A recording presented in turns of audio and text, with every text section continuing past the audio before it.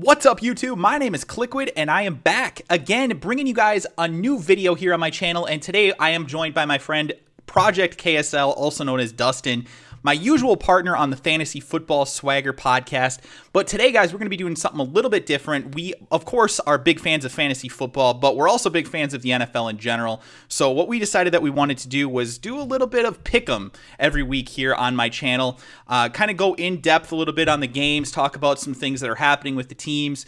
Um, you know, it might help you not only with just, you know, knowing more about football in general, but it might also help you with your fantasy teams as well. We're not going to talk about those things specifically, but some of these types of things that we do speak about here could potentially help you with that as well.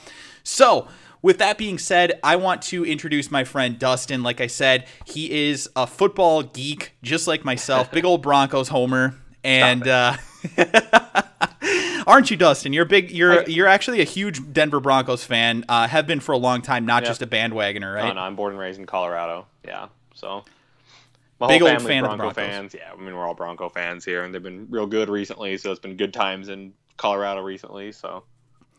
Yeah, this is a guy who uh, has always been hyping up all the Broncos players. Yeah, I remember a point in time when he was Don't hyping up Tim Don't Tebow to me, no, and it's a myth. Uh, but now those days are in the past. Uh, he actually has a legitimate quarterback that he can hype up, and we'll get into that nope. a little bit. But uh, but first, I want to start things off talking about Thursday night's game this week, and we have the Minnesota Vikings as they head to Green Bay to take on their biggest rival, the Green Bay Packers.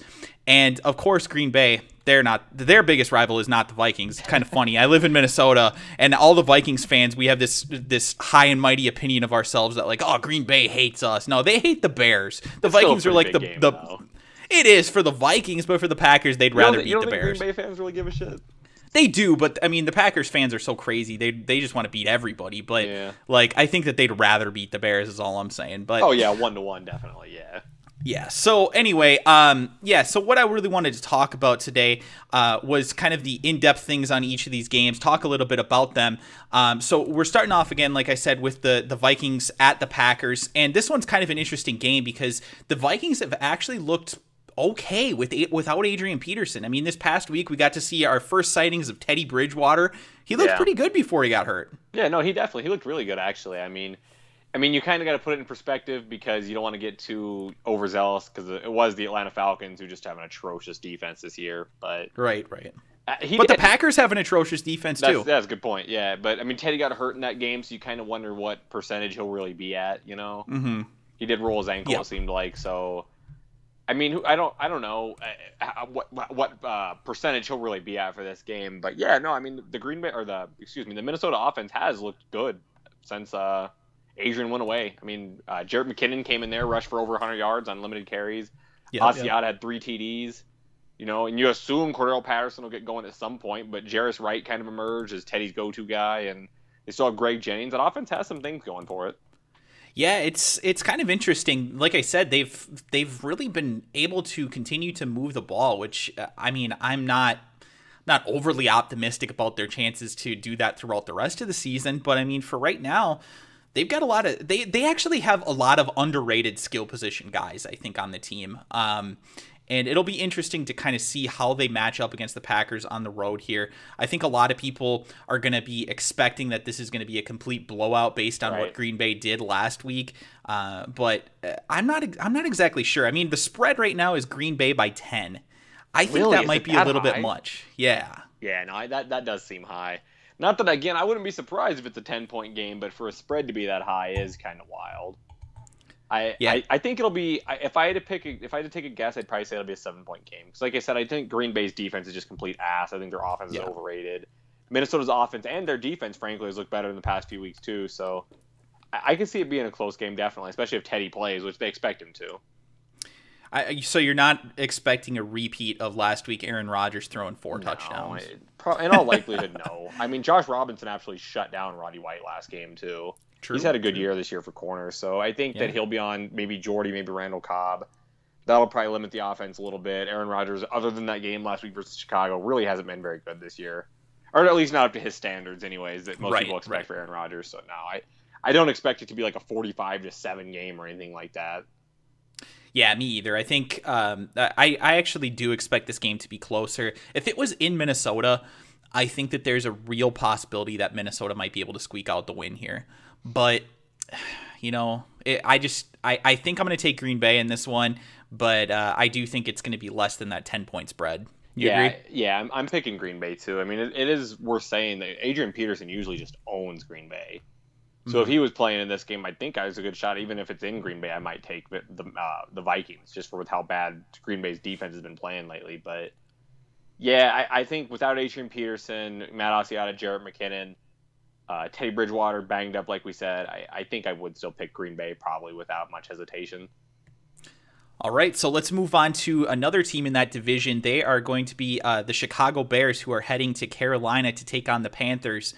And uh, this is kind of a tale of two very interesting teams up yeah. until this point because Carolina last year was one of the juggernaut teams in the NFL. They were going out there kicking the crap out of teams and uh, really looked like they had a possibility of making a deep run into the playoffs. And then this year, they just they can't move the ball a bit on offense. Right. Uh, defensively, they look like shit too. I mean, it's like they're yeah. just they're bad across the board. Honestly, Carolina has not looked well, good one thing worth saying about Carolina is everyone seems to remember they went 11 and 5 last year. They had such a good year. They went in the playoffs, and frankly, they were at the one yard and uh, they were at the one yard line in that playoff game versus San Francisco, like well, like three or four times, and they could have easily blown out San Francisco in that game. Crazy it seems. Yeah. And they just got stuffed at the one repeatedly. Yeah. But they started off like shit last year too. I remember I True. remember people were saying that like what did they what did they start off last year? Like two and two or something like that? Two and three? They did not start Something off very like good that. last year. Yeah, and then yeah. They, they had those they had those statement wins where they went into San Francisco and they won.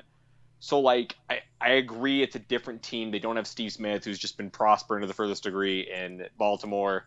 But Kelvin Benjamin's a stud. The biggest issue is that offensive line is a complete train wreck. Like I don't think yeah. that'd even be a starting offensive line for like the Pac-12 right now. It is yeah. dreadful. So USC that, can trot out a better team right now. Yeah, exactly. Right. Like Alabama could go out there and have a better offensive line to protect Cam Newton. Cam Newton's hurt. He has a fractured rib. You really wonder if that's going to be a recurring thing for the whole season, which you probably yeah. think it will. So it, it, there, really, there's a lot of negative things going on too, and especially one thing that no one really talked about last year was Carolina's secondary was ass last year too. They did not have a good secondary. Just that pass rush in that front seven was so good it covered it up. Yeah, but this year their front seven hasn't been anywhere near as good. Right, I mean, r- right now they're 27th against the run. Charles Johnson has been dreadful this year too, who's been a pretty One like consistent stud players for them on that defense recently. Right, his contract is still increasing, isn't it? I think, yeah. I mean, they signed yeah. that a huge deal when DeAngelo Williams is a free agent too. I think it's like 70 million or something for him. Yeah, he signed a huge contract. So crazy, but. Yeah uh, this is this looks like a kind of game that could be kind of a bounce back for the Bears as far as they're running the ball. Matt Forte's yeah. been struggling running the ball, but to me, this looks like one of those games where I know it's on the road, but it's not like Carolina's a particularly hostile place to play or anything. No, not really known so for a massive home field advantage. I mean, they're a dangerous environment. Or yeah, so I mean, to me, it, it's not that big of a deal that they're on the road here, but uh, it, it's.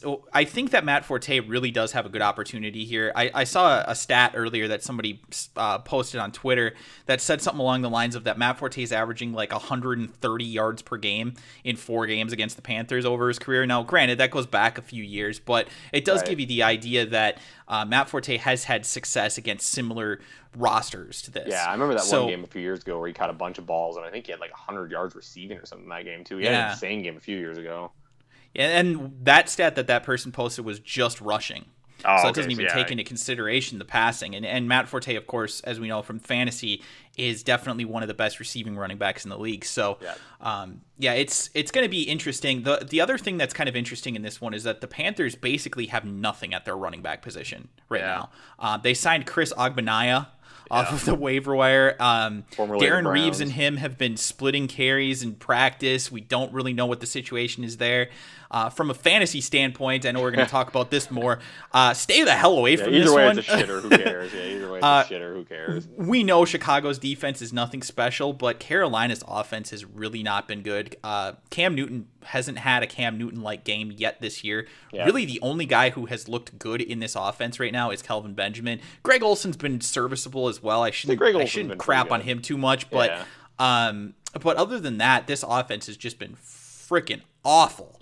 So I'm I'm a little bit worried about that. Now I did see that the Panthers are currently listed as a three point favorite in this one, really? and to me, I I don't get that. Yeah, no, I think that's that's that's ridiculous. Yeah, that's got to be one where uh, where I'm definitely going to be taking uh, the the uh, Bears in this one. So yeah, no, I I think this might be the game too where we finally see. I mean, Jared Allen has kind of looked a little washed this season too, but you think that this game with him and Lamar Houston, this might finally be the game versus that just horrible Panthers offensive line. If they kind of come out and have a statement game. Right. I can see that happening. Yeah, I mean, I think you have to pick the Bears. I mean, uh, that being said, I'm not going to be entirely shocked if the Panthers do manage to win. But yeah, I mean, you have to pick Chicago. They've had some big statement wins this year. I think everyone's letting the Green Bay game get in their head a little bit too much, and Jay Cutler usually isn't good versus Green Bay for right. whatever reason. But they've been good this year prior to that. Beat the Jets in New York, beat San Francisco in San Francisco. So yeah, and uh, do we know right now what the status of Alshon Jeffery is? I mean, and and Brandon Marshall, frankly, um, we've seen both of them I, be banged up. I remember seeing that they said that I think they finally said that Marshall actually just what's being said is Marshall might finally get a week of rest, so they might not have Brandon Marshall, but I think Ooh. Alshon Jeffery is going to play, is what I've seen. I think it's questionable what they expect him to play. Wow, with Brandon Marshall being out, that does change things a little bit. I've because he's he's kind of Jay Cutler's little nookie blankie.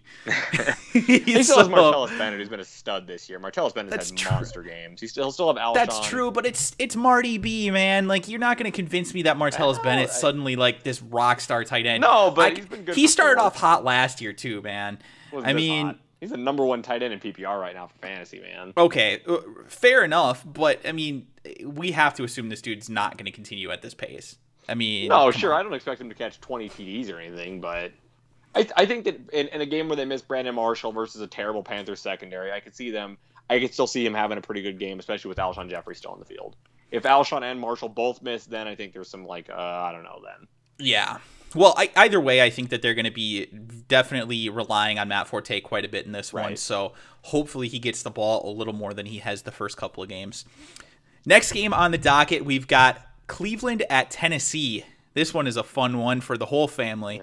Oh. We've got that's the shitter of the week. Yeah, just two awful teams. No real excitement here. I mean, at some point, Johnny Football's got to go out there, right? Well, Hoyer's I mean, look good. I mean, uh, it's... he's been okay, but I mean, like, it's just it's so it's such a boring, like, just nothing. They're not gonna go anywhere with Brian Hoyer at quarterback situation.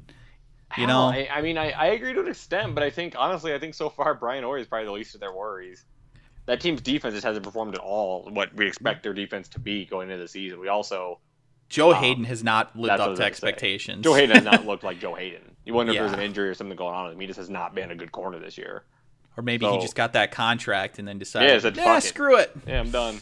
Passed out. But no, I, I don't think Hoyer's really the issue. I just don't think the Browns are just that good, you know? Right. They still have a. They still teams. Just the talent on the team is still just subpar as a whole, but they're still probably better than the Titans. And that game is in Cleveland, didn't you say? Uh, the game's actually in Tennessee. Oh, it's in Tennessee, man. Yes. So I think I'd still probably. I think I'd still pick Cleveland in that game because I think they're yeah. just a better team right now. The, the Titans just have so many issues. Is Locker even going to play? Uh, from the sounds of it, uh, it sounds like he's practiced, but you know it's going to be one of those game time decision type of things again. So yeah. we don't really know for certain on that one. I'm going with the expectation that he is going to play, but does that really change much That's for what I was you? about to say. Is it really that big of a difference between him and Whitehurst? I, yeah. I really don't know if it is, man. Like I really, really don't. Um, their offense is brutal. Yeah, it's uh, terrible. Yeah, it's been it's, terrible so far. You expect Sankey really to finally get carries soon, maybe. Right. Sankey did actually touch the ball more than Shonn Greene this past week, but I mean, it, it, the thing is, is Shonn Greene, all in all honesty, as far as like yards per carry, has been fine. He really has. Yeah. Um, he's not been their biggest issue. So to me, I don't. Ball. Well, yeah, that's not saying much at this point, is it? But you know, Tennessee, it, it's it's an interesting situation because they've spent so much money, picks, all this kind of stuff on their offensive line, yeah. and they still just get their asses whipped every got, week they got by Bill's everybody. guard guy, they got Roos. Yeah, they they drafted uh, Chance Warmack in the top ten. They drafted was it top Michigan 10? guy. It was like too. it was at least top twelve. Taylor Lewan, yeah. Chance yeah. Warmack, Chance Warmack was top ten. Taylor Lewan was top yeah. twelve. They brought in Bill's guard guy. Still have Michael Roos, and they're just still assholes. So, um, yeah, it's it's just been such a train wreck there for for the Titans this year. Uh, I know a lot of their fans had high expectations for the team, especially when they saw Justin Hunter in the preseason just looking like, you know, I had I honestly had fans of the Titans telling me that Justin Hunter looked like Randy Moss. Yeah, you fell into that hype a little bit I, too. Okay, I fell into the hype a little bit from the fantasy state. I, I wasn't like investing significantly in Justin Hunter or anything, but yeah. um, but yeah, and I mean Justin Hunter has not lived up to expectations. The talent's still there. I just don't think there's a quarterback to get him the ball. I was going to say it's kind of hard to get, judge him really fairly when his quarterback is Jake Locker, who just looks still atrocious, and Charlie Whitehurst. So Tennessee is the the favorite in this one by two point five. Two point five. Yeah, and I am going to take Tennessee in this one. I know you said you're going to take Cleveland. Yeah, Cleveland. I, uh, trust me, this is not a game where I'm super excited to take the Titans, but every team's got to get some wins at some point, right? And no, you the Texans went two and fourteen. There's usually just one terrible team every year. So, but the Titans already went in into Kansas City and blew out an elite team. Yeah, yeah. You know that train yeah. wreck. I'm joking about the Chiefs being an elite team, by by the way, guys. The Chiefs are probably one of the most overrated teams that you're going to find. Every so. Year. Every single year, and especially this year, coming off of that that playoff appearance last year, unexpected. Uh, the Titans just going in there and whipping their ass in Kansas City in Week One is so funny. But uh, yeah, I am going to take Tennessee in this one at home against Cleveland. Um, I don't love it. I think it's going to be a crap garbage game, 17-13 type of a game. Right. But, you know, it, it, when the teams are kind of two mediocre teams like this, I tend to just take the home team. So, I'm going to go with Tennessee. Let's move on to the next game. And this one is an interesting one because I think conventional wisdom would tell us that St. Louis at Philadelphia is going to be a blowout for Philadelphia, right? But Philadelphia is coming off of what might be the worst performance that we have seen them have offensively eh, in that I can Chip ever Kelly remember. Era. I mean, not even just the Chip Kelly era. I'm talking like uh, ever. Man, Andy Reid had some shitters. Remember that they scored zero offensive points. Yeah, man, but they had. I mean, that's versus a good defense, though. At least fair but zero points. Yeah. And the other thing too about this one is St. Louis is coming off of a bye, which can be overrated to some extent. An early given, bye too. Yeah, given the fact that it's an early bye, right? Uh, so Philadelphia is not all banged up or anything like that. But I think the big thing is that they do have that extra week to prepare for the Philadelphia offense, which you know is very very difficult to prepare for. So it can be one of the small advantages that you take into consideration in a game like this as they head into Philadelphia. But right. But what do you think about this Philadelphia offense? Well, I mean, do you think that what we saw like, from them is kind of what we're going to get, or are our teams starting to figure this out, or should we not even worry about that? I'm, i mean, we kind of talked about it earlier in the other podcast. I don't think I'm not concerned about Philadelphia. I'm really not. And St. Louis's defense this year has not been what we expect their defense to be. Their offense has yeah. been atrocious, even though I think they're supposed to get Shaun Hill back this week. I, I still I I'd, I'd pick the Eagles without any hesitation whatsoever. I think it'll be a two score game at least. You know what's funny? Philadelphia. What? Uh, you you said about Shaun Hill. I, I just want to interrupt there. I actually think that they might stick with Austin Davis. Do you? I mean, might, he I mean, honestly didn't look that bad against the Cowboys. Yeah, it's Cowboys. I know the Cowboys are horrible. I get it, but like, I mean, like you you look at his numbers in that game. He threw for over 300 yards. I think he had three touchdowns. Like, just picked I on mean, Morris Claiborne the entire game. Well, you got to do what works, right? I mean, it's not like Philadelphia's defense has stopped anybody. No, they have a bad defense too. But I, I just think that there's no way they'll be able to keep up. And I really think Chip Kelly's going to be pissed off after that whole 49ers game. I actually I expect too. a big game from a guy like Jeremy Maclin and Nick Foles. And maybe this is the week that finally LeSean McCoy finally gets rolling too. yeah, let's hope so, man. It has been an absolute train wreck for that offensive line. They are just getting abused by everybody. Um, you look at the St. Louis defensive line, and if everybody was healthy, things would be looking pretty good. Yeah. But, you know, I don't know. St. Louis, I, I'm not I just don't think that you're right. I don't think they have the offensive firepower to keep up. And I, I do think that Philadelphia is going to take this one. So uh, they're seven point favorite right now. So I, I mean, I don't know if they beat. The, I think they beat that seven points. I think yeah, that they do beat St. Louis too. by by over seven at home coming off of a game where they got embarrassed, I, I think you're right that there's probably going to be a little bit of the pissed off factor, and yeah. uh, they might just go out there and try and make a statement. Now, if they come out there this week and they score 10 offensive points, yeah, and then there's some concern to look for, yeah. Yeah. Then we're starting to really look at is this gimmick shit starting to come to an end? Just like everybody was running the stupid wildcat offenses the and the read shit. options. Like, yeah. is all that stuff going to be, you know, picked up on just like the Chip Kelly offenses? Who knows? We don't know at this point yet, but uh, in week three, it certainly looked like it. Or, excuse me, in week four, it certainly looked like it with the San Francisco 49ers just completely shutting them down. Uh, next game we have is Atlanta as they go to New York to face the Giants. And I think this is one of the funner games of the week. This one could be the yeah. biggest, highest scoring game of the week. Mm-hmm. Yeah. Do you, do you think that Eli Manning and, and the Giants can keep up with that Atlanta offense? Yeah, I do because I think the Giants defense is better than the Atlanta uh, defense just start off with. So fair. I definitely fair. think they could, and I think that they're finally starting to hit their groove in that new uh, that more quick timing offense they've been inst- like trying to get installed throughout the whole offseason.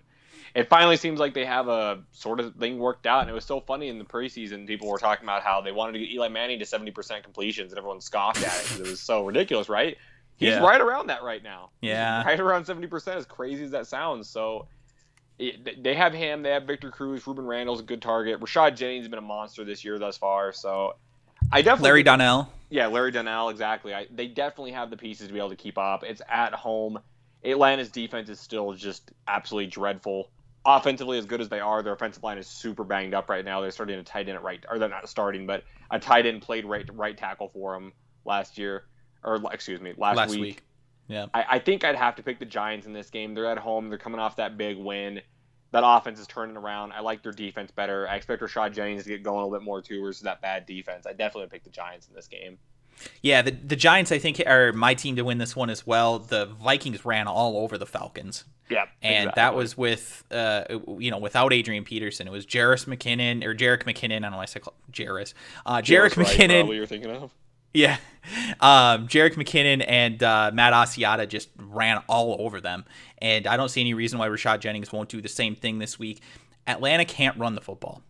I don't know what it is. Um, Antone no, Smith is back, the so. only guy that has been even just like legitimate for them at all. Steven Jackson getting the, the ball equivalent to Tom Brady. kind of, I guess. Uh, you know what's funny though is Steven Jackson's like yards per carry aren't that bad. There's just no explosion. Yeah. There's no threat of a big play yeah, he's anymore. Like now. So, I mean, to me, there just isn't much to be excited about outside of their passing game. I do still think that you, uh, obviously, you look at the uh, the passing game targets with um, with Roddy and um, Julio, and you know it doesn't really get a whole lot better than that. Matt Ryan's going to put up his numbers, and they're going to score some points in this game, but their defense just is such a piece of crap. And yeah, you're right. Terrible. I think that they're coming off of a disappointing loss in a game that they should have won against the Vikings. Um, the Giants are coming off of a big win. So I, I do think that the momentum carries over for the Giants. I like them to win this one as well. Right. Next game we have is a team that just got humiliated by my Dallas Cowboys, oh, and that is the New Orleans Saints as they host the Tampa Bay Buccaneers. Tampa Bay looking better with Mike Glennon. Do you think that they have a chance in this one? Yeah, you know, I think it'll be closer because Tampa Bay plays them close every year, even in game, even in years where the Saints are look a lot better than they do this year the Bucks games are always closer than people would think when they play them. So I don't expect that to be much different for this year, especially. Yeah. I mean, the Tampa Bay is coming off a game where, frankly, they got outplayed the whole game by Pittsburgh, but still got a win. The Glenn came in there; he played better, way better than Sean Hill has whole year, all year. But having said that, I still think New Orleans is just a better team. I, I mean, you still, I mean, you have to have some faith in Drew Brees getting it going, don't you? I mean, Man, I I I look at this this type of game and I don't see how New Orleans doesn't win it. New Orleans is a completely different team on the road than they are at home. They right. they're not even a 500 team on the road. Yeah. But when they're at home, they're like don't lose you know, level awesome on offense. You know what's so funny too about that is I always remember those things that they were talking about on like ESPN and NFL Network and how pissed off the Saints players got at the notion that they were a different team on the road.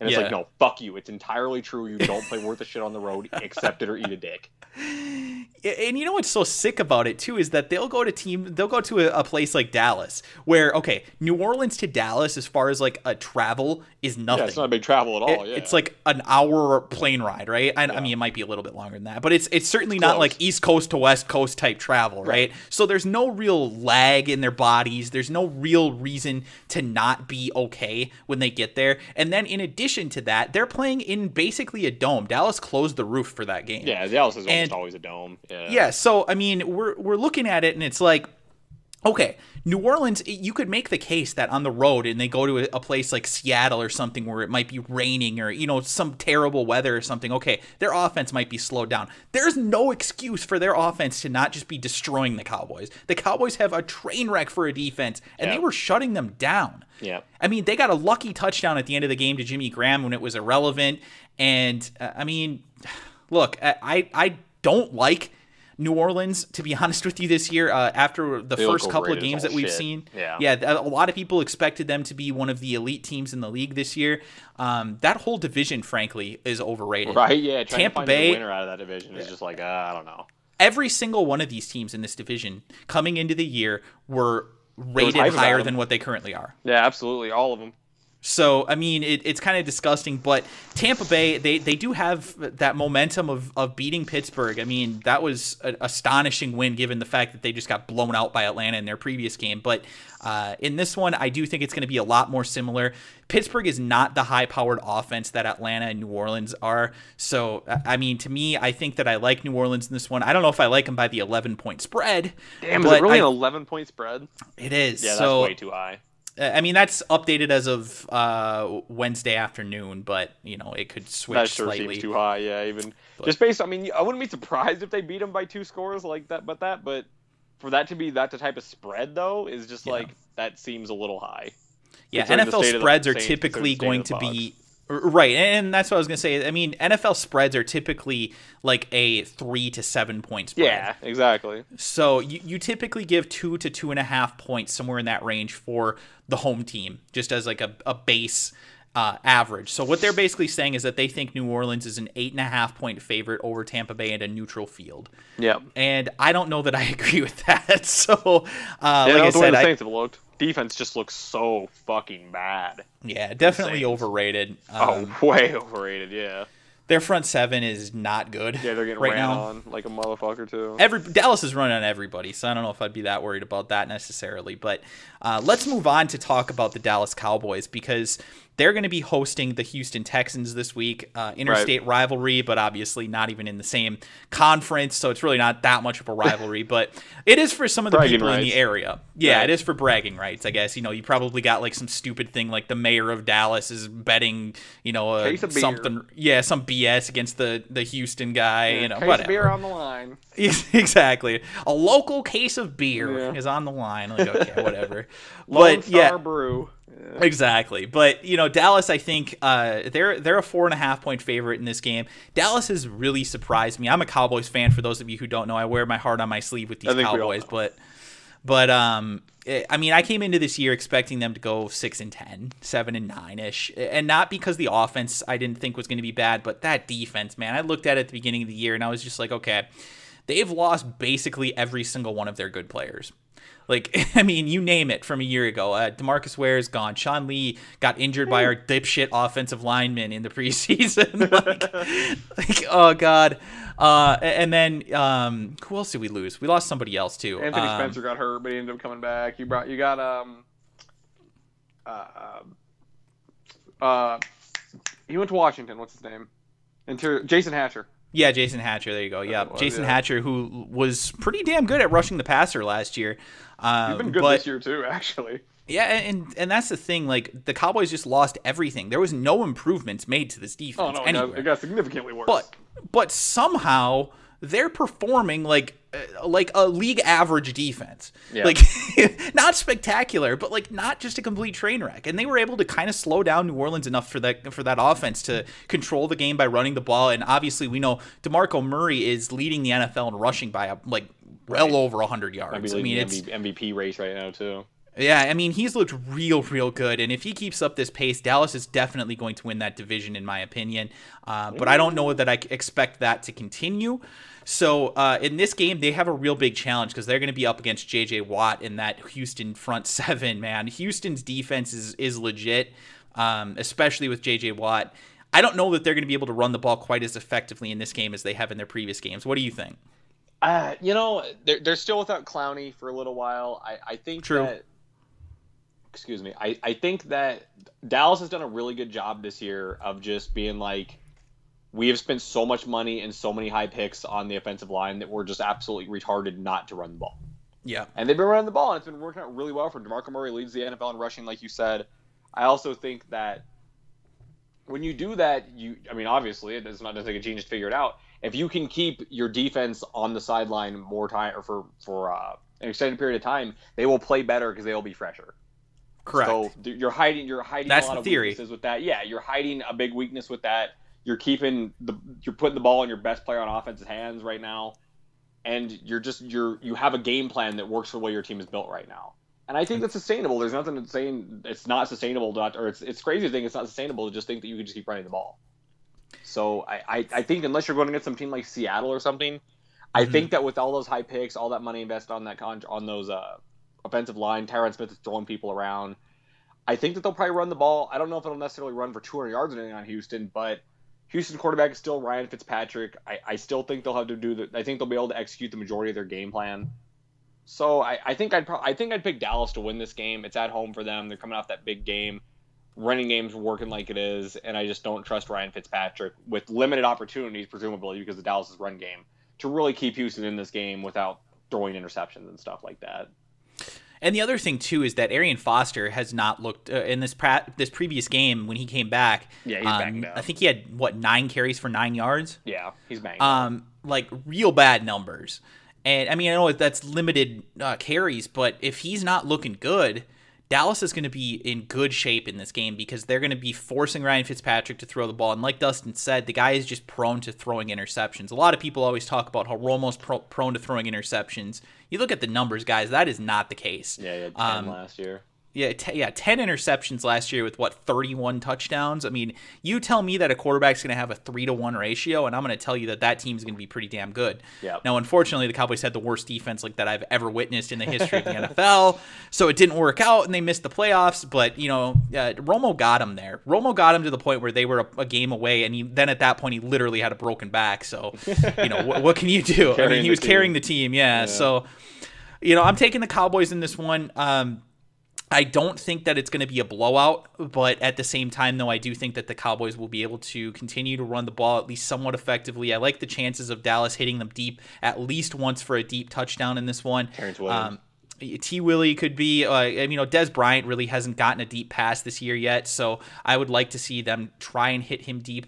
And then the other thing too is that when they start to do these play action passes, if they start to run the ball effectively, they're going to be able to find Jason Witten over the middle. And I just don't know that there's a whole lot of teams that can match up if the Cowboys have a, a solid running game and the defenses are focusing on that. Can they really, um, can they really stop these three targets? I think that the Cowboys' offense is going to be legit this year. I, I definitely expect them to finish in the top ten uh, among offenses, Yeah. and I don't think Houston can keep, compete with that Well, in this I, game I, on the road. I remember we talked about it in the preseason. I was just saying I was really high on everybody in Dallas's offense for fantasy purposes. I was just like, dude, that defense is going to be so damn bad that they're going to be in 45 to 40 games every single week. But it doesn't really turn out like that. But like you said, no, I think that if the if, I mean if the teams have to account for the running game, Romo's going to get his, Dez is going to get his. Terrance Right. Williams is this totally underrated receiver. Jason Witten is still Jason Witten. That offense is still going to be able to put up points on most people, even if they do absolutely key on Demarco Murray. right. So yeah, I, I I think that just straight up for this game, I would definitely pick Dallas to win. Yeah, I, I think so too. So let's talk to about another team that has that a lot of people had high expectations for offensively, but it's been their defense that's actually won them quite a few games so far, and that's the Detroit Lions as they host the Buffalo Bills. Detroit a seven and a half point favorite, currently the number one defense in the NFL against the pass. Are you shocked about that? Because I certainly am. Well, I, I, am and I'm not because I think week week four, week five stats can always be misleading. I mean, for God's sakes, the Chiefs had the number one defense for like nine weeks last year and finished like 18th. True. You know, true. so I, I I never put too much stock into like super early like team stats. I mean, I mean anyone with eyes could tell you that the Chiefs didn't have a top five defense last year. You know what I mean? But but the, the but the thing is though is the Chiefs were going up against such bad oh teams yeah, at the beginning of the year. Every week. They were playing Detroit like played Toole. Green Bay. Yeah, no fair. I- I'm, I'm not trying to d- discredit them and say that they don't have a, a good pass defense for this year, but I mean, come on, them or Seattle, you know, just based on the stats. Right. Or some other Right, right. teams, they, they don't have the best pass defense in the league or anything. That's that's crazy. But I think that their defensive line is really the thing that's that's yeah, no, doing Nick the job super this far. underrated, and Ndamukong Suh always gets his. I mean, Right. Ziggy Ansah had a good rookie year last year too. A lot of people didn't see him because Detroit's just not really in the marquee a whole lot. But Ziggy Ansah had a good year last year. He did. He did. So uh, they have they have a lot of talent on that. They have three first round picks on that D line, and Ndamukong Suh, Ziggy Ansah, and Nick Fairley. And they also Beasley. brought in Glover Quinn last year to play safety, who's become better. They have pieces on that defense, there's no doubt. Stephen, oh, well, Stephen Tulloch out for the year, excuse me, but DeAndre Levy's been a super fast guy. I laugh about that because he injured himself celebrating. Yeah. it, it is kind of funny. You you wouldn't think that you'd be questioning the Detroit offense, but you sort of are. But having said that, even if um, Bell misses this game, which I, the reports are mixed right now whether he will or not, but concussion situation. Yeah, but right. Calvin has said that he feels a whole lot better than he did last week, even though he didn't practice today. I think the team still says he full, they fully expect him to play on Sunday and be out there mm-hmm. and actually playing and not just being a decoy. So if all of that holds true, I, I have to think the way the Bills are, Kyle Orton's their quarterback. There's got to be some type of turmoil probably going on just with that alone. Bench right. EJ Manuel four games in. Detroit's kind of you would expect that offense to get going. I don't see any reason why it can't be this week. Detroit's allowed a TD pass in four games of all game this year, so you, you assume that Matt Stafford and Golden Tate and uh, Eric Ebron, Brandon Pettigrew, Calvin Johnson will get in on that a little bit. I definitely think the Lions at home will probably beat the Buffalo Bills. I think so too. They're a seven and a half point favorite in this one, and I think there's a reason for it. Obviously, yeah. the the big the big one to me is that, like you said, there's such turmoil on the Buffalo side of the ball right now. I mean, you look at their offense, and it's like, okay, I understand EJ Manuel has been world class crap yeah. at quarterback. Him or Tom Brady is worse. No, I'm just kidding. Well, okay. Come on. But okay, here's the thing though. You look at a situation like that, and this is something that I always talk about, right? I mean, okay, at a certain point, as an NFL team, you do just decide that you're going to pull the plug on a guy, right? And if that's the decision that Buffalo is making, then just deactivate EJ Manuel. Because well, I mean, you, I mean, you can't do that because what if Orton goes down? I mean, then who's your backup situation? I understand his confidence who cares? killed, but who cares? I mean, the thing is, is that you should be looking to move this guy. If he's not going to be your quarterback for the future, there's no reason that he should even be dressed for your team because he should be on the trade block, and there should be no concerns that he's even going to go into a game to potentially get hurt. Because uh, I mean, look, when you make a decision like this, four games into the guy's second year on a bad team, I, I mean, I don't think the Bills are that bad of a team. I think the Bills. They, the, the thing about the Bills, they also got rid of their number one receiver. I mean, I understand well, that they, they got Sammy Watkins, but... but... look, I mean, if you're if you've got a young quarterback, why are you getting rid of his top no, potential target? Yeah, that was it, horrible. It makes no sense. It's not like Stevie Johnson's out there getting fifty million dollars a year. I mean, no, he, he was signed to a very feasible contract. He got yeah. a yeah, very marginal contract, and it's just it's one of those things where it just it ba- it blows my mind that they do this to a young quarterback. Mm-hmm. And I'm not t- trying to defend EJ Manuel or anything, but it pisses me off when Mike teams Williams, do stuff like this. Oh boy, Mike Williams. Mike Williams is better than you think. Come on. Mike okay. Williams isn't that bad of a receiver. He's not that bad. That's the way that I would put it. He's not that bad of a receiver. But well, Stevie I mean, Johnson has been that team's top target for five years Mike now. Williams or like Doug Baldwin. Who are you picking? Uh, that's a tough situation because I think that Doug Baldwin's. I mean, obviously, if, if we're just looking at them as standard players, um, I mean, I guess I'd take Mike Williams just off of pure physical raw skills. But Mike Williams or like DeAndre Hopkins? DeAndre Hopkins, without really? question. Okay, without right. question. Mike DeAndre Hopkins right now is one of the top 20 receivers in the game, in my opinion. oh, He's a beast. Come on. That, Dude, I am telling you. Top 20? Top, okay. From a fantasy standpoint, I'm telling not you right fantasy, now, I think fantasy, I'm real life standpoint. But well, look, he's it's not like he's it's not like DeAndre Hopkins has got Peyton Manning throwing him the ball. He's, no, producing numbers with freaking Ryan Fitzpatrick. Sure. No, I'm, I'm not like, trying to say DeAndre Hopkins is a bad receiver. DeAndre Hopkins is way better than Mike Williams. I see. I don't. I think I like Mike Williams better than you, and that's fine. But the the one thing I just wanted to say about this was Buffalo, when they made that trade, they gave up their first round pick for next year to go up and get Sammy. They're not trying to be a shit team. They are all in, which is a terrible decision. Don't get me wrong, that is a horrible fucking decision. That is a horribly managed, poorly thought out thing.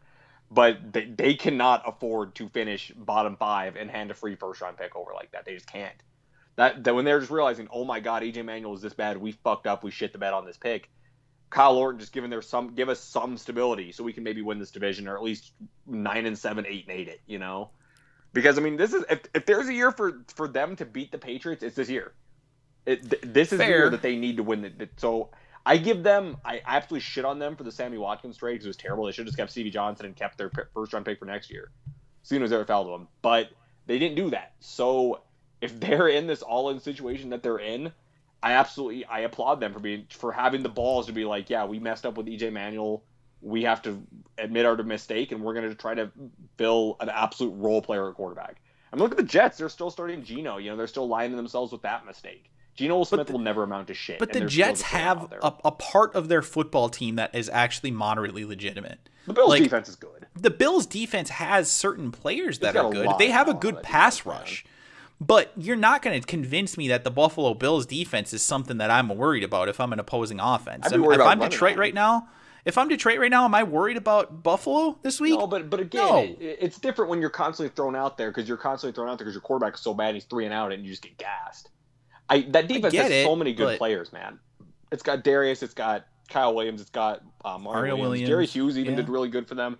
It's got they don't have Kiko Alonso. They brought in Brandon Spikes, who's very good against the run. They have Stephon Gilmore, who's a pretty good corner. They still have they got rid of Jairus Byrd, who I thought was they really should have tried to keep in. But Aaron Williams is an okay, uh, strong safety. That team has not world class Seattle defensive talent, but it has the talent to be a top ten defense. You just need an offense that doesn't fuck up a whole lot, you know.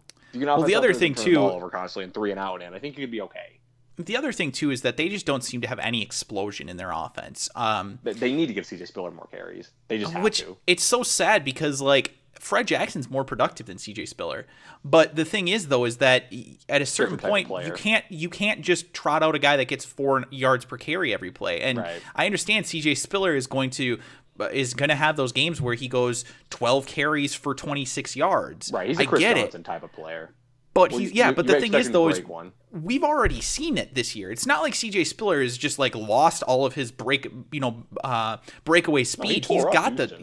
the yeah, he's I mean, still he got this. the speed. Oh yeah, he's explosive as they come. It's just he's one of those players that you're gonna have to deal with him having you know maybe a, a 3.1 yards per carry until he breaks off that 75 yard and balances it out. Right.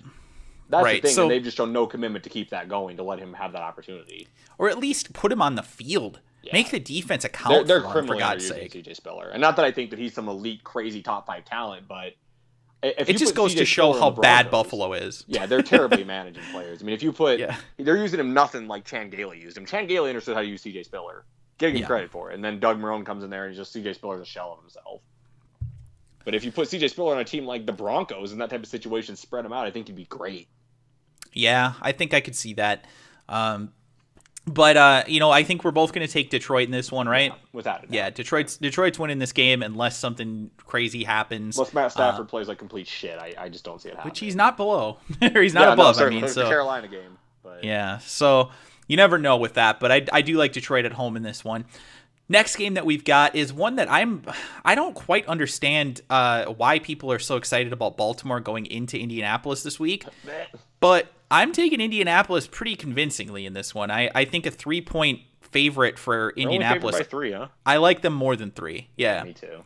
I do. Um, now, in fairness, Indianapolis hasn't beaten a solid opponent yet. Yeah, they, they should have beaten Philadelphia. They got pretty screwed over in that game, so that should have at least been one quality win they should have had. Yeah, I think you know the thing is, is Andrew Luck right now has looked as good as anybody in the NFL uh, passing the ball. Yeah, he's absolutely. mobile. I mean, the guy is the guy is every bit of the number one overall pick that you expected him to be. All these people that are out there talking about Russell Wilson's better than Andrew Luck, you can seriously just go straight to hell. Look at the passes that the guy is making. He is on a team where he is carrying that team. I mean, they have no running game to speak of. Yeah, no. I mean, Ahmad Bradshaw, I get it. He's got he's done okay so far from a fantasy standpoint, but their running game is nothing special. And T.Y. Hilton hasn't been what he is normally. Reggie Wayne's aging. Their tight ends are kind of meh. And he Andrew Luck terrible. is still out there putting up baller numbers, man. He is the number one player in fantasy football right now. Truly, truly an elite quarterback already at this point in his career. I understand he's thrown way too many interceptions in his first couple of seasons, but look, when you're on a team where you are constantly having to be the only guy that really does anything on the offense, that's what's going to happen from time to time. Peyton Manning did it, and eventually these guys start to stabilize. They start to see the field better, and we're starting to see that with Andrew Luck. I don't see any way he gets outdueled by Joe Flacco in this game. Yeah, no, I, I pretty much agree with that. The only the only type of concern would be again the same concern I had for the Carolina game was just Baltimore can get after the passer, you know, and the Colts defensive line is still bad, and Baltimore still has Terrell Suggs, Elvis Dumervil, Haloti Ngata, Chris Canty. They have guys who can get after the passer. True. So I, I think if there is if there is one reason to think that this game won't be bigger than the spread, or Baltimore maybe wins, is if Baltimore's defensive line and just you know defense in general dominates the Colts. But having said that, I, I, still think. I mean, we saw what an insane pass rush can do. We saw what Denver's done. Demarcus Ware leads the NFL in quarterback pressures right now, and Andrew Luck just slips away. There were so many game times in that in that Denver Indianapolis game. I watched. I'm just like, dude, you are a fingertip away from this guy. You know what I mean? just drag him down, and he yeah. breaks it away and throws it 20 yards, and it's just like fuck me. You yeah. know, just right he's on just the money that too. guy. Yeah, he's just yeah. that guy, and those plays are pretty routine for him. So. I think yeah, Andrew Luck's on a tear. The Colts defense is better than a lot of people think. It's not a lead or anything, but it's not it's not a defense the level of like um, the, the Cowboys or the Saints have been so far or anything like that. Right, so right, right. I, I, I think that they'll win. They're at home. Like I, like I said, I think the Baltimore Ravens are kind of getting overhyped right now. What and, do you think about Steve Smith in this game? I mean, uh, not just from a fantasy standpoint, but does does Indianapolis have a way to shut this guy down because he's been well, one of the best receivers in football. Indianapolis so has Vontae Davis, who's going to be yep. one of those guys who's going to get up there. Vontae Davis is notorious for just being scrappy as shit and grabby as shit. So yep. We'll see what happens. I, I think that that'd probably be the worst possible matchup if you if you if, if you're Steve Smith. You don't want to face a guy who's similar size to you you know, Vontae Who's just going to be in your face the entire game. Yeah, and he's not going to give a shit. He'll just be all over you. He ain't going to he ain't going to respond to your bullshit of throwing him around and stuff. He'll be throwing you around too. I wouldn't be surprised if there's a 15 yard or two 15 yard penalties oh, yeah, between those, those two guys in this yeah, game. Vontae so. Davis and Steve Smith are just that's that's the matchup to watch for this game. Yeah, absolutely. Absolutely. So, all right, so we've both got Indianapolis in that one. Now, the next game that we want to talk about is another one that is uh, in that division, the uh, the Baltimore division, and that is Pittsburgh at Jacksonville. Oh God, what's even the point? Well, we can we can say that, but look, Pittsburgh shit the bed last week against a team that was a lot of people were saying Tampa Bay was the worst team in the league after the first couple of weeks. I never did um, in fairness, but and the thing is, is that I understand Pittsburgh's the favorite to win this game, but it is in Jacksonville, which eh, what oh, doesn't man that, that whatever ruckus home field advantage. those 73 fans and everybody all the, look at all those, those fans dressed up like chairs. pool. Yeah, they're in the yeah. pool partying as, as Chad Henne throws another pick. the fans go wild. Yeah. They, they thought it was the other team. They were um, daiquiri and keep going. but uh, you know the thing is though is I, I look at this and it's okay okay it's Blake Bortles' first NFL home start. Right. Okay. Bortles has looked um, good too. In fairness to him, he's been a yeah. lot better than Chad Henne looked. Uh, yeah, I mean, I think there's new life. I think there's reason to be somewhat optimistic if you're a Jacksonville fan for this game. Absolutely, yeah. Um, I think the the the thing is is that the Jacksonville offense has been literally the worst in the NFL through the first four games of the year, and I just I don't really see much of a way that they're able to stop Le'Veon Bell, Antonio Brown, and uh, and Ben Roethlisberger. Yeah, I, I pretty much agree with that. The thing is, is Pittsburgh's defense this year has not been very good, but their offense yeah. has been pretty damn good. What do you mean Dick LeBeau doesn't just get to like take players and put them into his scheme and they're automatically a top five defense? You mean that yeah, they actually just, have to have good players on their yeah, defense and, and it's not just, just all that, Dick LeBeau? myth of Pittsburgh defense is good every year and just been asked for the last few.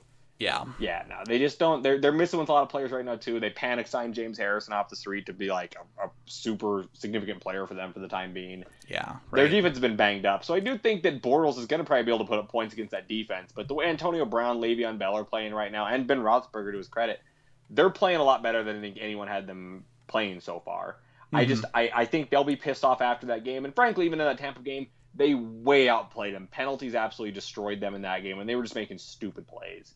Right. So Tomlin probably got on because of that. I, I don't expect a repeat of that at all. I think I think Pittsburgh probably wins by at least a couple scores in that game. Yeah, I think right now they're a seven point favorite. Um, I like them by slightly more than that. I don't know, you know, somewhere around that range, I guess. But um, yeah, Ben Roethlisberger is going to go out there. He's going to put up decent numbers, and I think that there's going to be plenty of Le'Veon Bell.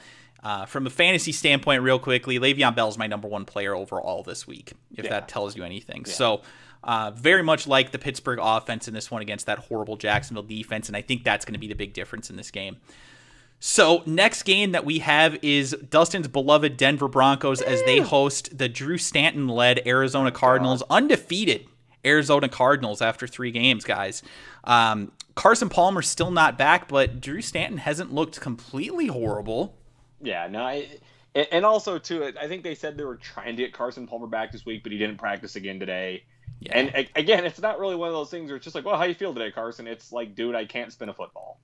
So yeah. it's, it's not going to be a tomorrow I'm 100% better.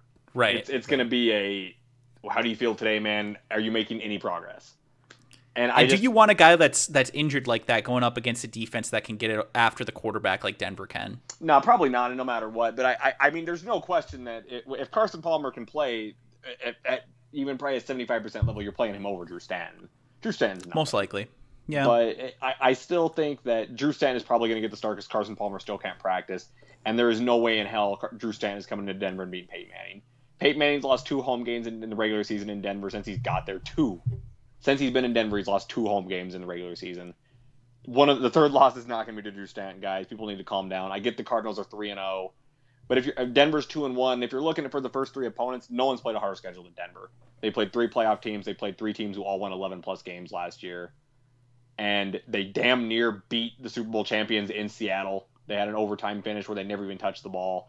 They're gonna be pissed off. They, I mean, they lost that game, and frankly, it's probably the best game they played all season uh, defensive wise, anyways. Offensively, probably right. not. But the defense finally was what we all thought it would be on paper versus Seattle. They shut down the Seattle offense for the majority of that game, barring a few plays like the Talib TD. But I mean, it wasn't Talib's fault, and a couple other things.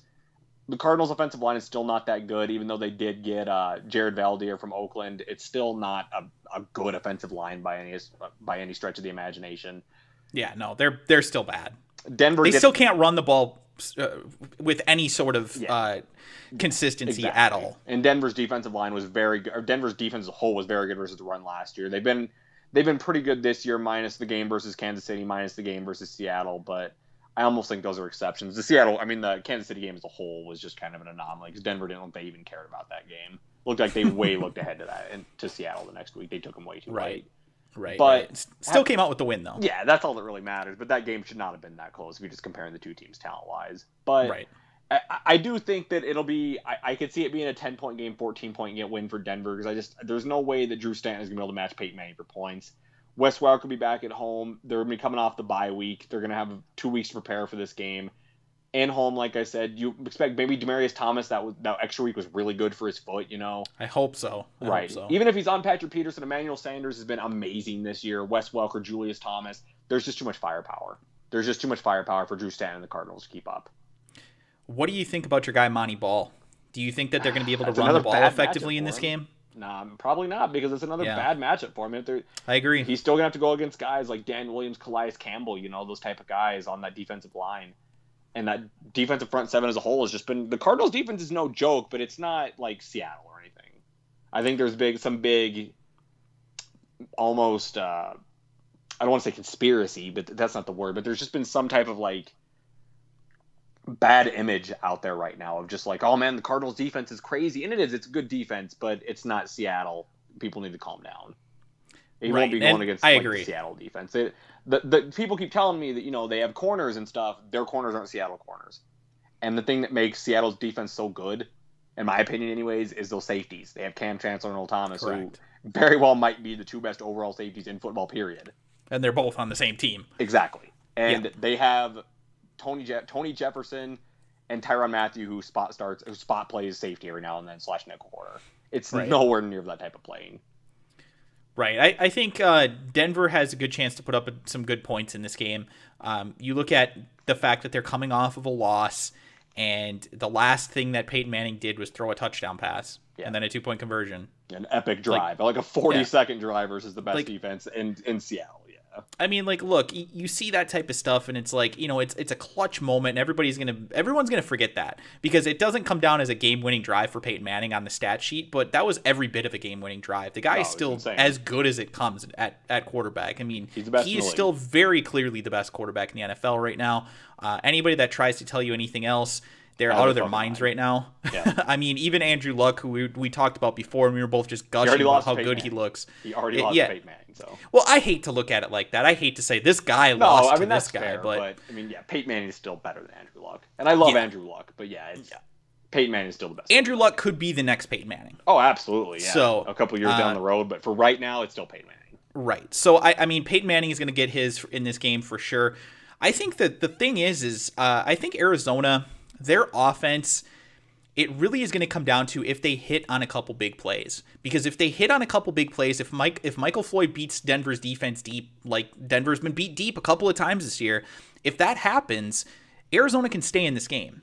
If yeah. they don't have the explosive plays, if Drew Stanton's not able to be accurate like he wasn't in his first game that he played, they're not going to be able to win this game. Yeah. So uh, I'm taking Denver. I, I, like them at home, obviously. Uh, if this was on the road, I think it could be closer, but I'm still taking Denver, even if they are in yeah, Arizona. So, uh, yeah, Denver, I think, pretty easily in this one for me. Next game we want to talk about is the San Francisco 49ers. They're hosting the Kansas City Chiefs. And obviously, we saw Kansas City back in full effect on offense, running the football with your guy Jamaal Charles and, of course, Knile Charles. Davis. Both of them monsters on the ground.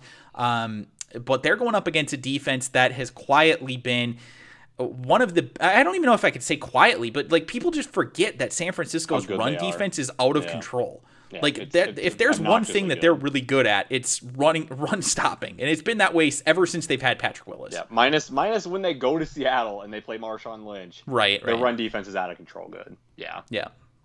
So I have a I have a real question on this in this game if Kansas City is even going to be able to move the football because yeah. I think that they're going to struggle to run the ball in this one. They're going to try to commit to running the ball, but it's not like I just don't see a situation where they go out there and rush for 200 yards in a game again. No, I I mean if they exactly get 120 it. yards between their two running backs, that's a good game I think against San Francisco. Oh, I completely agree. Yeah. So I mean obviously we see Jamaal Charles is looking at least mostly healthy, but um he looked really good. Yeah, he looked yeah. like he wasn't injured at all in that game. The only reason why I say he looked mostly healthy is because I, I have dehydrated. this.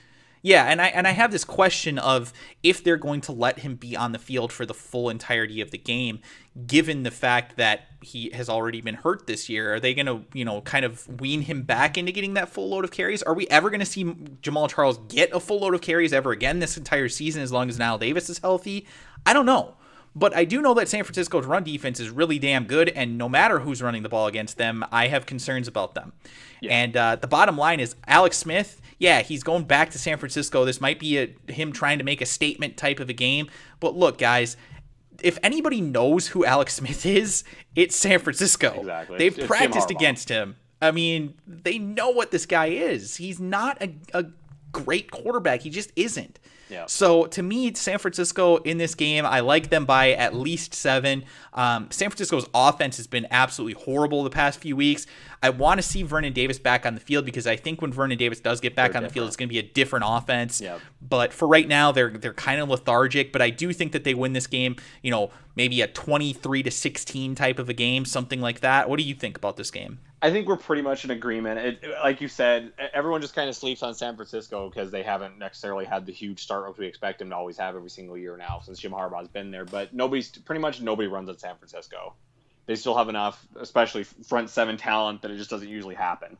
And also, pretty much like you said too, it's I, I, I can't see a situation where it's like Jamaal Charles and Knile Davis going out there in the rush for five yards, six yards, you know, every other touch, and they're moving the chains themselves I think what more than likely is going to happen in this game is they're going to try to win. They're trying to try to run the ball like they have been. You know, Kansas City is very is super high in terms of like run total, carry totals right now for running backs so far in the season.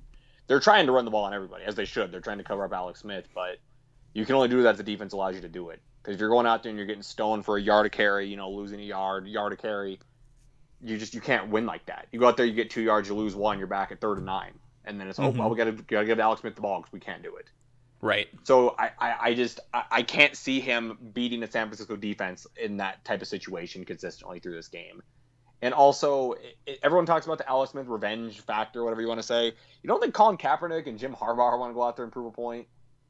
And and and I'm sorry, but I just I don't I, know if it's quite as big of a point that uh, Alex Smith would because they're the ones that did the chide, the chiding, not Alex Smith. You know, it's not like Alex Smith left because he wanted to. Well, no, but I mean, Jim Harbaugh traded Alex Smith because he directly chose Colin Kaepernick over Alex Smith. He was like, "No, we're not going to right. We're going Colin Kaepernick. I'm choosing you." He's going to want to prove he made the right decision.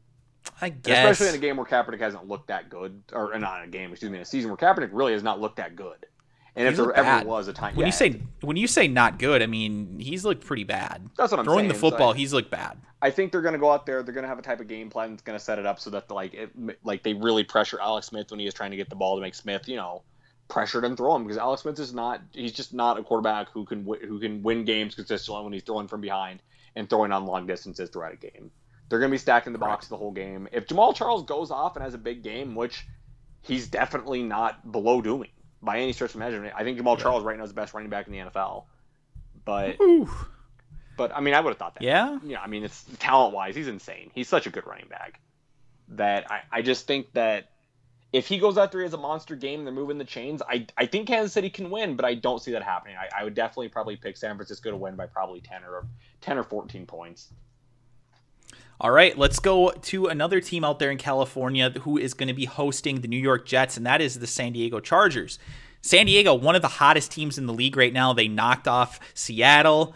Um, they're looking really good this year, and, and New York has just got a complete train wreck at quarterback right now. Yeah. I know you're you're a big guy, a big supporter of Rex Ryan and what he does on that defense.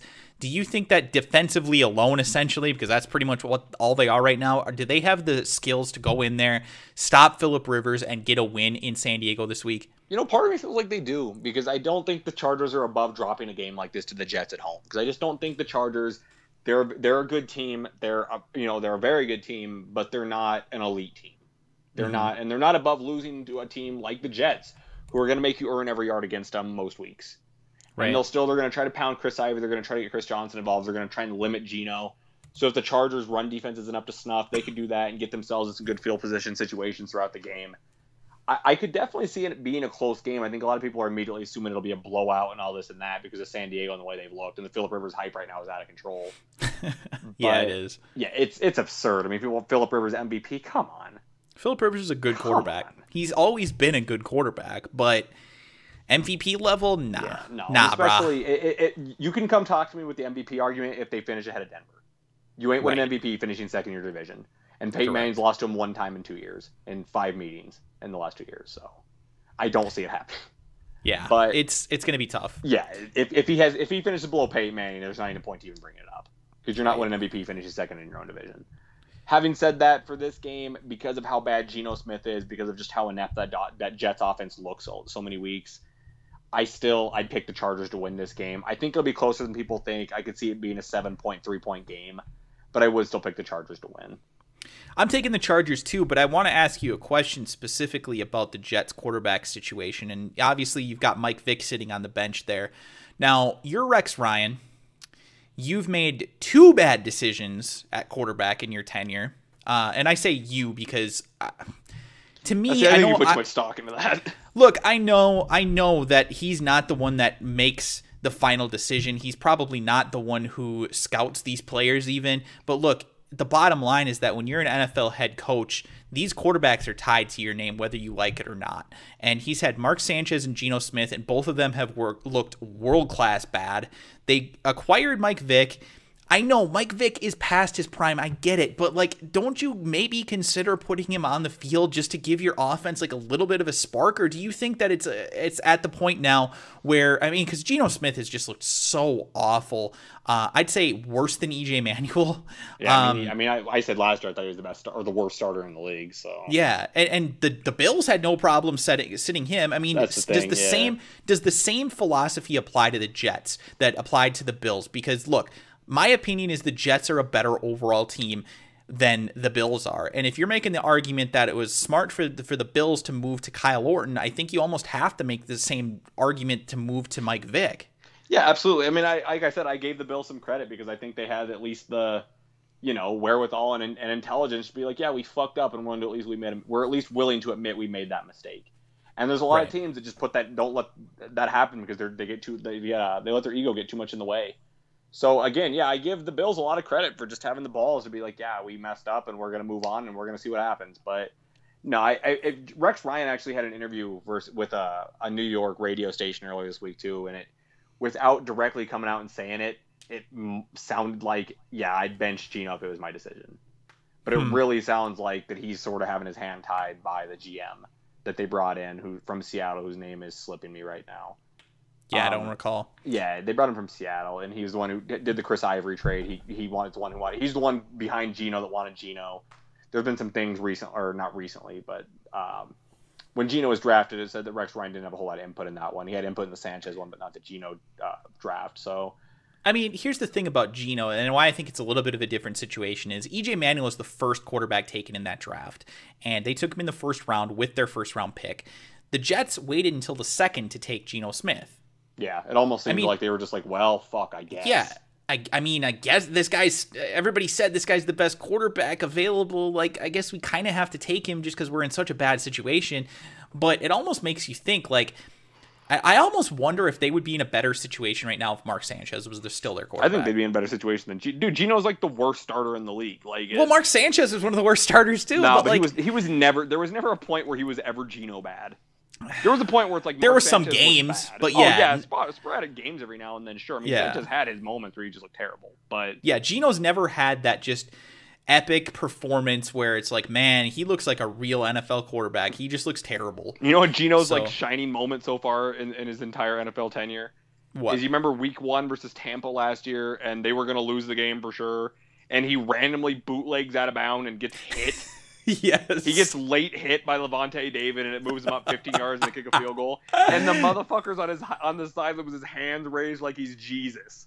Yeah. Like, dude, fuck off. You're dead to me after that. You know what I mean? Yeah. Like, you get hit out of bounds on a late hit, and that's your statement thing in the NFL so far. Like, you're a joke. He's terrible.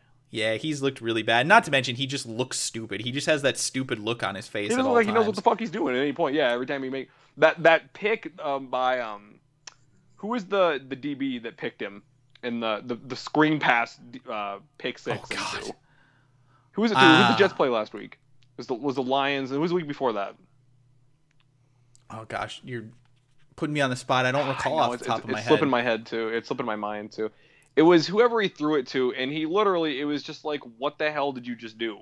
You threw yeah. a, a, pass behind the line. There was a pick six. Like, how does that happen to a competent, even a semi-competent NFL quarterback? He just looks dreadful. Yeah, he's been he's been really rough, and like I said, um, I I feel like there's a bigger reason to put Mike Vick on the field than there is Kyle Orton. Uh, and I want to see that happen. And the reason that I say that is because I think Mike Vick brings a new element to the offense that Kyle Orton just doesn't for Buffalo. I think Kyle Orton's like, okay, so we go out there and we run the same stupid offense that we're currently in. Like, who really cares? But at least when Mike Vick's on the field, like, I mean, we saw in the in the the, one... the last time he's been on the field, the guy can still move. And granted, he's completely. I mean, he's going to make just terrible decisions. He's probably going to get hurt. Right. But and look, could it be any worse than Geno? No, that's the thing is I don't think it could be worse. But a team that, if there ever was a team that really just needed to copy the Dallas philosophy of just run the ball, you know, give your defense more rest and whatever else, the Seattle philosophy of just pound pound it with the running game. It would be the Jets. If you get a guy yeah. in there like an Alex Smith, even they can just hand the ball off enough, you know, make get to third and shorts or whatever it is, just keep moving the chains, that type of quarterback, limit mistakes. They need a quarterback like that so bad. Right. And right. they just have no one on the roster. And, and granted, Vick is better, but he's not what that offense needs. So we're both taking San Diego in this one, correct? Yeah, without a doubt. Okay. Yeah, it, it's going to be San Diego in this game for us. Um, we haven't really disagreed on a whole lot of picks so far, but uh, I think we might. Eh, we I don't one. know. Yeah, we'll we'll we'll see what we do on these final two here, but um, Cincinnati at New England. New England, typically one of the teams that you look at and they're at home and you just expect them to crush everybody. That has not been the case so far. Uh, they almost lost to Oakland at home earlier this year, and they looked absolutely horrendous against Kansas City. I mean, these are two games that you should have written onto your schedule before the season even started as being wins for New England. And yep. I mean, they have looked really, really bad this year. The only game that they've really shown up is against Minnesota, and that was their defense. I think Skip Bayless said the Patriots are going fifteen and one. oh gosh, Skip Bayless. He is so he is such a ridiculous SOB. Let's talk about this one because I know your opinions on the New England Patriots uh, have always been that they're overrated going into the season. Yeah. Um, but I mean, is it at the point now where you start to just look at their games and it's like you know, if they're playing a moderately good team, they're getting that L. Yeah, you know, I I, I, I sort of think so. I, I don't think the Patriots are going to go six and ten. I just don't because I think that they're going to still win some games. They still play in right now what probably is the worst division in football is the AFC East right now. Patriots included in that. So look at look at those quarterback situations. Oh, they're all division. dreadful. Yeah, Tannehill they wanted to bench him. Geno should be benched. They already benched EJ. Brady probably should be benched. The only reason that the only reason that the Patriots don't have the same type of quarterback uh, drama that all three of the other teams. I mean, we're four weeks into the season, and all three of the other teams have quarterback drama. Yeah. The only reason that the Patriots don't is because it's Tom Brady. Yeah. I mean, you you call him Joe Schmo, and yeah, exactly. yeah you would call him Joe Schmo, and it's like you're at the situation where you're looking at this guy that you drafted to potentially come in there and replace Brady down the oh, road. Absolutely, yeah. No, Brady has looked the thing about Tom Brady too is Tom Brady looked terrible last year too, and they won on defense, and their running game really, really carried them throughout week what 13, 14 into the postseason. I mean, I don't think Tom Brady threw a TD in the entire postseason. I think it was oh no, excuse me, I think he did one. But other than that, was LeGarrette Blount. LeGarrette Blount was running for like 200 yards towards the yeah. end of the season again. It was just like, okay. LeGarrette Blount, yeah. Yeah, it was like, okay, they're just going to get carried by LeGarrette Blount now. And you can say, oh, Brady made got him to the AFC Championship game anyone that watched that team last year, that team did not get carried by Tom Brady at any point in the season. Tom Brady was about as big of a success to that team as uh, Alex Smith was to that 11 and 5 run. You know, he's just. And, and they have a that. tough matchup this week. Oh yeah, Cincinnati. Cincinnati probably has the second best defense in football right now. Andy Dalton, possibly the best team in football. All around, possibly. Yeah, you can make the case certainly. I mean, AJ Green. They they expect to get Marvin Jones back this week too. Giovani Bernard and Jeremy Hill. Yeah, nasty. I mean, dash. that's a pretty dirty running combination, and they're th- throwing the ball effectively. Andy Dalton doesn't hasn't had any Andy Dalton moments this year yeah. where he looks terrible. Yeah. So I mean, as long as Andy Dalton doesn't throw the game away in in these games, their defense is good enough to keep them in any game against just about any team, and they're going to be able to run the football super effectively. So this is yep. kind of a team that is a sneaky at this point in the year, sneaky good chance to win the Super Bowl this year, in my opinion. The Bengals. The thing yeah. about Andy Dalton's playoff record is so damning. He's so yeah, bad. But... He, I mean, and I get you don't put a lot of stock in the guys just turn bad in the playoffs, but yeah, it's not so much it's happened one time; it's happened like three times. That he has okay. just been a complete detriment to his team. I, I get so, it. He's got to win that first playoff game for me to not and, and not just get carried by his other team to be like, I give this team a realistic shot to outduel a player like Philip Rivers or outduel a player like Peyton Manning or because you know sooner or later it's going to be can we outscore this team? And if Andy yeah. Dalton's out there going you know ten to twenty for a TD and a pick, he's not beating Peyton Manning. But not. as long as their defense is able to keep teams to 24 or fewer points, I think that Andy Dalton's able to put the, the points on the board. I think most weeks games. he can, certainly. I, I, so. This week he'll be able to. This week I don't see any way they lose to the Patriots because the Patriots are just playing terrible right now. Darrelle Revis is just getting destroyed by Dwayne Bowe, which is the fuck, just the worst sign ever for your overrated well, another thing that I found to be interesting about this game is that I and I don't know if this is 100% for sure, but I'm pretty sure that earlier in the week I saw that New England was like a 2-point favorite in this game. So and stupid. I believe I believe that's flipped now, which is very rare in the NFL that a, an odd uh, and odds has switched from one team to another. A lot of times you'll see it, you know, move up or down a point, change a little bit, yeah. but it's very rare that you're going to actually see the favorite flip but I think it actually has. It's gone to a one point favorite for Cincinnati now. Common sense um, finally kicking in for people, and but even still, like a one point favorite basically means that they that they're calling this a toss up. Yeah. I don't think this is a, co- a coin toss at this point.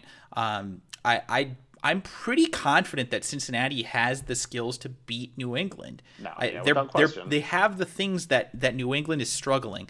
That New England struggled like crazy to run the or to stop the run this past week against Kansas City. Cincinnati's better offensively with running the ball than yeah. Kansas City. Uh, defensively, New England couldn't move the ball through the air whatsoever. Cincinnati has a great way secondary. Better secondary. Yeah, so I mean, you look at those two things alone, and it's like I the don't see how New England wins nasty. this game. The home field advantage was pretty nasty in Kansas City. Which yeah, for that for that game specifically, it was a good home True. field advantage for them that game. So that probably changed. And New England things. is home right. for this game, but... but they won't have the pressure of the crowd. But still, like they're just you you can't just make Tom Brady good again. He's just not good. He's right. not a good quarterback right now.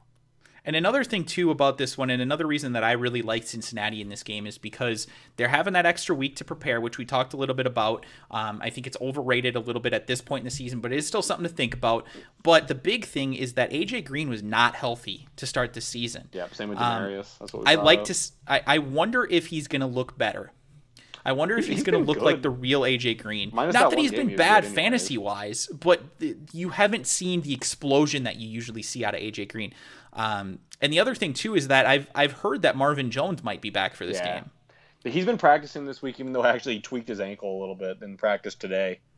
which is kind of shitty because he's just coming back from that foot yeah, injury. But they said it's right. not related to the foot. Okay. And they expect him. They're going to take it day by day with him. But yeah, they okay. might get him back, which could open things up a little bit more because Marvin Jones caught what ten TDs last year. Yeah, he was. I mean, he's just another threat, is all. Right. Um, not just that I expect Marvin Jones to. Exactly. I don't expect him to be the guy or anything, but I mean, anytime that you start to get offensive firepower back, uh, you get your AJ Green healthy, you get your uh, your guy who was at least a, a, moderately decent second receiver, and then you still got Mohamed Sanu too. Um, you know, not Gresham. that he's yeah, and not that he's been some spectacular player, but I mean he's been out there making a couple plays. He he caught a couple nice passes. He threw a pass. Yeah. Um, I mean, there's there's been some interesting things that have happened with the Cincinnati offense. I think they're better coming out of the bye week than they were going into it, and that spells trouble for New England. I'm taking Cincinnati by at least six in this one. Yeah, me too. So, final game of the week, and I don't understand how the hell this one made it onto prime time. It's kind of uh. embarrassing. But uh, this could be a complete blowout. Seattle at Washington. At least it's not Washington at Seattle. When we first looked at this game, we actually thought it was Washington at Seattle, and we were like, "What the hell?" Yeah. But no, uh, Seattle is on the road at this one. They're going across the country. They're not going to the state of Washington. In case you guys didn't realize, yes, Washington is Washington D.C. Uh, so yeah, they're, they're, some people don't know that. Um, but yeah, Seattle is going to be up against the Redskins. Man, Kirk Cousin looked absolutely horrible the last time that we saw him. Seattle is, uh, you know, still the best defense in the NFL. I don't see how Seattle doesn't walk out with a win in this game. Yeah, that's the thing. There's really no nothing you can tell yourself that'll be like, well, I think that Washington could pull. Like, no, no, it's just it's not a possibility. It's a Call terrible, your titties if you think that Washington's winning this game. Yeah, there's. I don't think it's even gonna be close, and I, I still like Kirk Cousin, which is funny, but like yeah. I I don't see any way they beat Seattle. I just don't. I understand it's not at home. Seattle's not the same team at home. They're still a good team, but they're not that elite, out of control. I don't know if anyone can beat this team like they are in Seattle most weeks. Yeah, but even lose then, on the road to San, to San Diego. Yeah, even Seattle at seventy percent or whatever you want to assume they are on the road, they're still so much better than Washington. It's not even funny. Right. Like I think that game will be a two, three, four score game. Maybe it's not even worth watching. Probably. Yeah. And it's it's unfortunate because Monday Night Football has been brutal this year with blowouts. Yeah, terrible. Just well, I mean, blowout after blowout. Like, so. Even if RG three is still healthy, like what the fuck are you thinking scheduling that game for Monday Night Football? Like Washington and Seattle. I guess maybe the only thought that I can think of is like you know them wanting to make the drama between RG three and, RG3 and, uh, Russell, Wilson. Like there's any yeah. competition. Which quarterback is better? No, yeah, there's any competition in that. Yeah. What about RG three? Looks like an asshole. Russell Wilson's pretty good. So like, no, Russell Wilson's pretty okay at throwing the football, and RG three yeah. looks like he's just and RG three uh, uh, isn't. He looks like he's a character from A Bug's Life, yeah. and he's terrible. He's so, just the worst quarterback. Him and Tom Brady are gonna have a good time to tell. Have a, gonna have a good time. They open up their joint bar and they're both retired and they suck ass for football. Tom and Tom and Bob's Wing Shack in Detroit. but uh, you know we've we've joked about this, but uh, you know Seattle still uh, I know that they're they've got the um, the the thing that people are looking back to as a hope is that they did lose on the road to San Diego, and yes, they are not impenetrable. They can lose, especially on the road. But Washington is just to me not the team to do it. Yeah, um, you got to be able to hold the ball versus them. You got to be able to con- constantly convert third downs, consistently convert third downs. Excuse me. You got to play time possession with Seattle to win like that, and the man at San Francisco or San Diego did, and there's just no, there's just no way. Alfred Morris is probably not going to see very much running time at all versus right. them. There's just there's no way. And the thing that's the thing that I think swings it even just a little bit more is that the tight end situation in Washington now is just like oh, a barren wasteland because yeah. they had a lot of talent. Jordan Reed, Niles Paul. I love Jordan Reed. I yeah. love Niles Paul. but you know, you look at they got Logan Paulsen. Now, yeah, now you look at you've got Logan Paulsen, and it's just it's not the same thing. And we don't know for certain whether these guys aren't going to play at this point. I don't think looks unlikely um, though. Yeah, it's looking unlikely for both guys, which means Kirk Cousins, uh, who really was able to find the tight ends early in the season, he's not going to have that just over the middle, you know, Security area blanket. that you can beat these guys potentially, just like, you know, picking up six, seven at a time versus, you know, trying to go deep against the Shermans and the, the Earl Thomas and the Kam Chancellors. um, it's going to be so tough for them to win this football game if they can't convert those third downs, like you said. And that's really where the tight end a lot of times comes into play. Yep. I don't like Logan Paulsen, so, um, yeah, I think Seattle is going to win this one by, uh, I'm going to say, I'm going to say 13 and they're currently a seven and a half point favorite. So I like them uh, to beat those odds as well. Yeah. But uh, that's pretty much going to wrap things up for this week's uh, pickums. I know it was long, guys, but uh, I will definitely, uh, you know, think about trying to figure out a way to cut this down. But we have so much that we'd like to talk about, so I hope you guys enjoyed it. If you did, make sure you press that like button below. If you're new to the channel, of course, make sure you press that subscribe button, and uh, that'll let you know when I put out any new content. I have a ton of Madden content, of course. We do fantasy football swagger podcast here with Dustin and I.